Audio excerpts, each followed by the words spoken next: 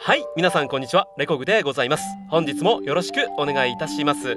さて今回プレイしていくのは飛躍のノエルというフリーゲームでございます、えー皆さんの、えー右手にご覧になられますのがノエルちゃんなんでしょうね。いやー非常に可愛らしいお嬢さんでございますわね。この子が、えー飛躍ってことは、えーなんかいじめにあっちゃうってことなのかなこれね。いや一体どんな目に遭ってしまうんでしょうか、えー早速プレイしていきましょう。スタート。操作説明。えっと PC とスマホで遊べるらしいです、えースマホに関して横向き奨励ってすごい丁寧ね、えー一番最初の1ペラにこれをバーンと出してくる。すごい丁寧よ。いやーえっとゴニョゴニョゴニョゴニョゴニョゴニョっていうことで早速プレイしていきましょう。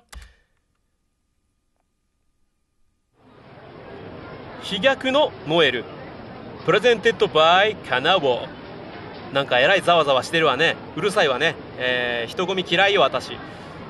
なんかあのー男女5人が、えっと、お立ち台っていうかステージの上にいる感じですね、えー司会。えー、それでは今年度のラプラスピアノコンクール最優秀賞奏者の発表に移りたいと思うね。あノエルちゃんだ。あれ？眼帯してないですけどこっから眼帯をするような出来事が起こるってことなんですかね。皆様もご存知の通りこのコンクールの最優秀奏者は市の記念式典にてピアノを弾くことができます。すごい副賞だよね。私も弾いてみたいね。清く美しい音楽には大麻の力があるとされラプラスの街をまた一年災いから守ってくれることだね。いやーすっごいね。ピアノ音楽最高。そんな決まり文句は後にしてくださいまし。こちらはもう待ちくたびれましたわ。あらこらノエルちゃんいいとこのお嬢様ですわね。これねとてもいいとこのお嬢様だこれは。言葉遣いが丁寧だね。ジリアン。あらこっちも可愛いわ。ジリアンちゃん。でもなんとなく私ってほんとバカっていうような感じがそういうこと言いそうな感じがするのはなぜだろう、えージリアンさん。そんなにそわそわしなくても結果は逃げないよノエル。お友達なんですかね？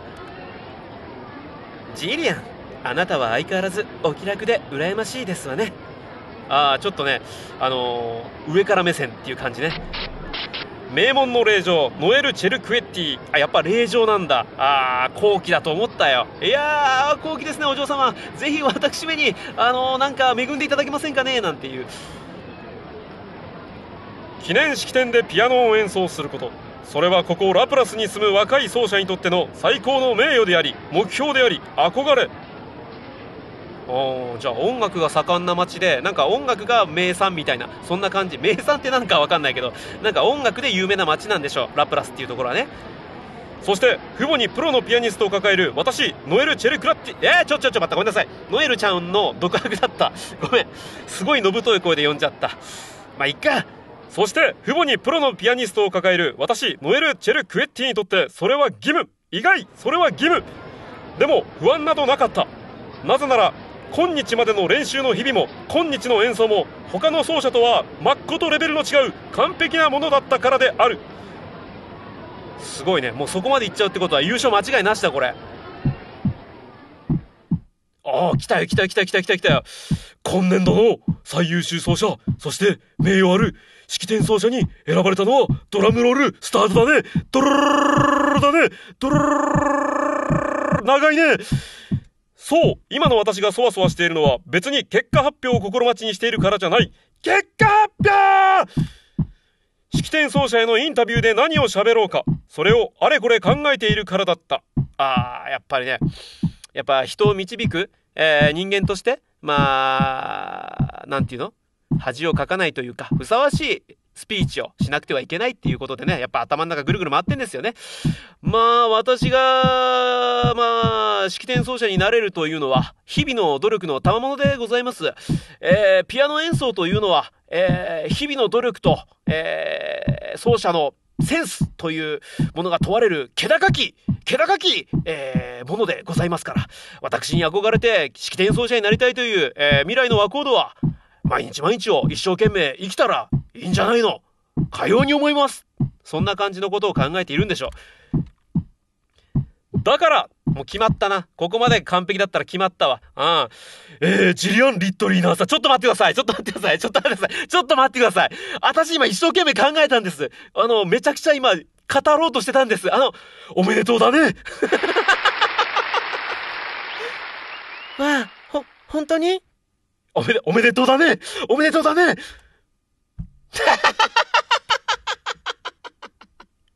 ちょっと、ちょっとノエルさん。何なんすか？あの、すいません。あのー、もう、完璧に勝ったなっていう流れだったんです。僕もね、もう、あの、どう喋ってやろうか、ノエルさんがいかに素晴らしい、素晴らしい人であるかっていうのを称えようかって、一生懸命今実況しながら頭の中で考えたんですけど、何やってんすか？あなた、優勝してないじゃないですか。ちょっと。それは何かの間違いだと思った。いやいやいや、いやもう、結果出たんで、結果発表出たんで、ジ・エンドはい、私の人生今日まで。ちょっと待ってください、待ってください。私、ちょっともう一回、もう一回聞いて。ちょっと私の演奏もう一回聞いて。えー、コンクール用のピアノだ。少し古いが、家のものよりずっと高い。ちょっと私の演奏もう一回聞いていただくわけにはいかないか。なあなあなあ。ちょっとそこの方々、ちょっとちょっと、一人一人ちょっと私の、私を称えろよ。えー、最近大きな海運会社の支社がこのラプラスにできたんだ。これを皮切りに大企業が流れ込んできたらさすがの古き良きラプラスも変わらざるを得ないのかもしれんな。どうでもいいね。どうでもいいよ。私を称えろっつってんだよ。えー、女。マローズ市長忙しいだろうにこういう催しには必ず参加するんだ。伝統の芸術や文化を大切にできる人はいい人だと思うね。わしゃ。でだからだから誰か一人でもいいから私のことを好きって言ってそしたら私明日からも頑張れるからえっとなんだって？今年のコンクールもハイレベルだったわね。えー、ピアノはラプラスの伝統だものみんなこの日のためにたくさん練習しているのでしょうね。たくさん練習した。私すっげえたくさん練習した。プロのピアニストの親を持ってすっげえ練習したんだけどなんかダメだった？私なんかダメだった？ラプラスは小さくて古い石だ。本来ならとっくに古株のマフィアたちに食い荒らされていただろう。それを巧みなハンドルさばきで復興させたのがバローズ市長さまだ30ちょっとなのにまさに天才ってやつだな。いやまあまあまあまあまあまあまあまあまあえー、なななババローズ市長ってやつがなんか偉いってわか偉いっていうことを言っただけだね。うん。審査途中で大きな変更があったらしい。何？表彰式が遅れたのもそのせいかね。あこれは間違いない。間違いない。私が1位だったんだ。うん。ちょっと待った。どういうこと？もっと話を聞こう。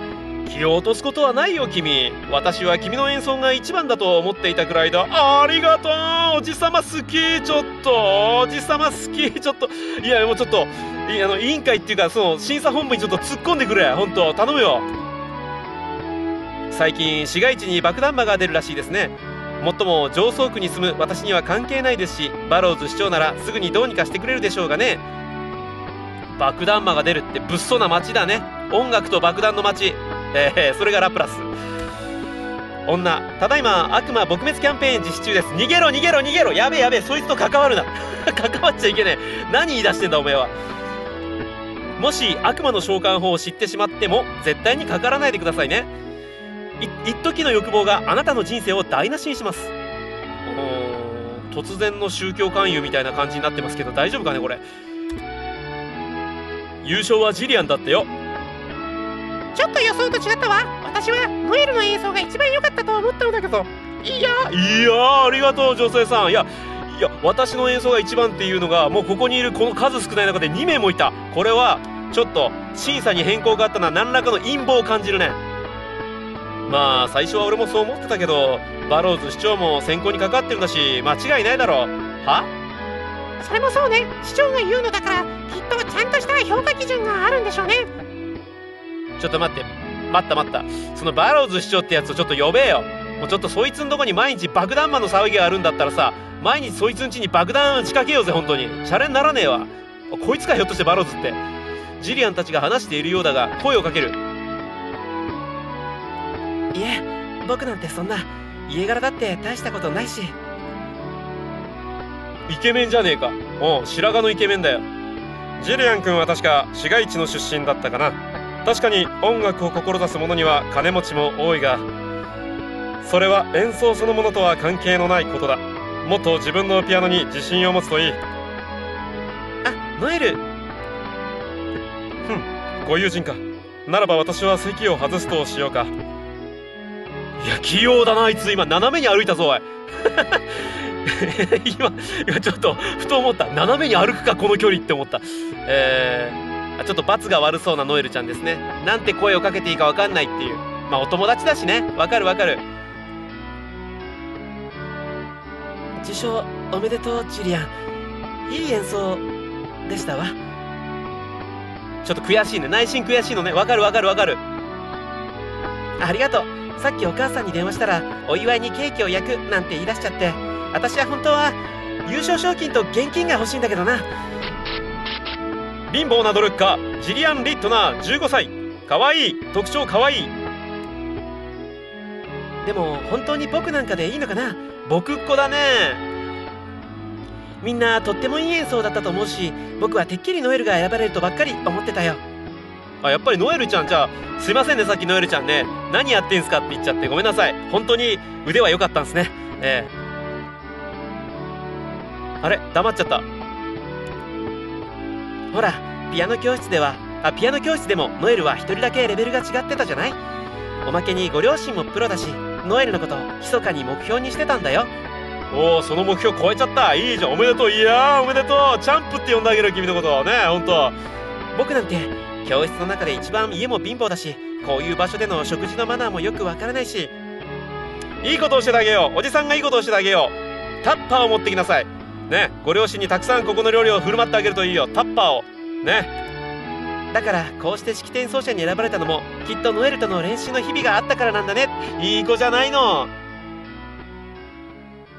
だからえ？あ待ちなさい。そちょっとその先は言っちゃいかん気がする。いかん気がするよちょっと。ノエルちゃん。わかるわかるわかるわかる。そういう嫉妬の気持ちメラメラわかるけどその先はどうだろうか。え？申し訳ございません。完全にファミレスの店員の気分になるわこんなん。パリーン申し訳ございません。さらわれました。えーだから今どんな気持ちだと笑いたいのでしょう。チェルクエッティの娘が無様な姿を晒す今、それを見て優越感に浸りたいのでしょう。いかんいかんいかんいかんいかんいかん。ダメダメダメそれ。ちょ、ちょっとノエル、僕は何もそんなつもりで言ったんじゃ。失礼しますわ。あー。核も儚きかな、友情。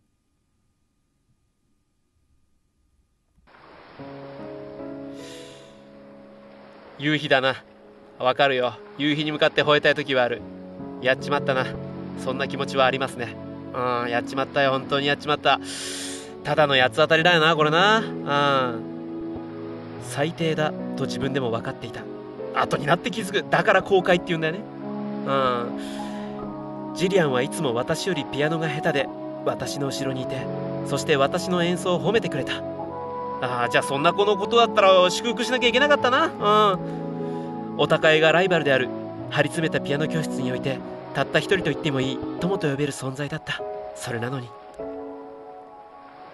私は式典奏者に選ばれなかったやるせなさと嫉妬に嫉妬を彼女にぶつけたジリアンはいつも私の演奏を素敵だと言ってくれたのにいざ立場が逆になったら私はこんなのはただの八つ当たりじゃないか。いやそれに気づけるだけですごい。15歳でそこに気づけるのがねほんとすごいとおじさん思うんだよ。うん。でも仕方ないじゃない。そうね。人間だからね。嫉妬はする。僕だって自分より人気があるやつはみんな大嫌いさ。ごめんなさい。そういう時もあるのよ。うん、人間だからしょうがないと思ってあげるわけにはいかないが。だって人間だものこんな、こんな結果を残して、明日からどんな顔でピアノの、あピアタピャピャピャピャピャーって、こんな、こんな結果を残して、明日からどんな顔でピアノを弾けば。まあ初心に帰って、ね。私はどんな顔でチェルクエッティを名乗れば。いやあお嬢さんあんたはさっきの若い人。若い人。あ、あなたは、バローズ市長。てめえかバローズ市長。おめえ覚えとけよ。毎日おめえんちにダンプで突っ込むからな。朝。朝5時にてめえんちにダンプで突っ込むから覚えとけよ。ブチギレまくりですねほんと。邪魔してすまない。だがホールを出ていく君のことが気になってね。ラプラス市長ラッセル・バローズ。32歳。高身長。イケメン。いけすかねえ。すいません。えー、かっこいい。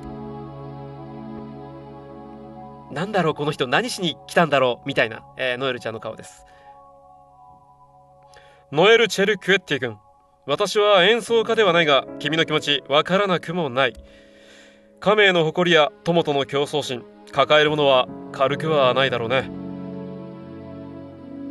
ノエルちゃんあっち向いちゃったよ。完全にこんなんさあのバロズ市長ヒロシみたいになってるよ。ああ聞いてもらおうと横に向かったねこれね、えー、昔ねお笑い芸人のヒロシって方がいらっしゃったんですけれどもヒロシですってね。そんな感じで見られてないっていうバローズです。バローズです。私にはいろいろとよくわからんとです。そんな感じ。結果を残したいとあ結果を悔しいと思うかい？もちろんですわ。私はあの子に負けたくなかったし式典奏者にもなりたかった。ジリアン君とはだいぶ親しいのかい？ピアノ教室で知り合ってから随分経ちますから。なるほど。ライバルであり親友というわけだ。悔しいのはなおさらだろうね。だが君の演奏もジリアン君に負けないくらい評価を集めていたようだよ。今年はダメでも来年の式典奏者にならなれるんじゃないかな。ちょっと待ってください。これをさ、あなたさ、甲子園を目指して3年間頑張ってきて、甲子園優勝を夢見ていた3年生にも言えるのかね？っていう話ですよ。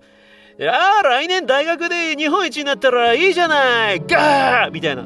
そんな感じのことを今言ってんじゃないか、あなた。ねそんなものに意味はありませんわ。私が欲しかったのは、誰よりも、もちろんジリアンよりもすごいという証。それだけですの。2番目にすごかろうと、評価されようと、今一番でないのなら意味がありませんわだって私は常にいつも一番でなければならないんですものいやーこれはねまあなんていうかお家がねやっぱりこうなんていうの名誉ある家庭だったからこそ、そういうふうに考えてしまうんでしょうね。えー、私のようなサラリーマンのね、えー、家に生まれ育った人間にとってみては、マラソン大会なんて手を抜いて走ってもいい。ビルになっても最終的にゴールできればいいんだ。みたいな感じで走ってる人間にはちょっとわからない気持ちなんですけれども。いや、いろいろあるんだろうね。そうやって生きてきたんですもの。そうか。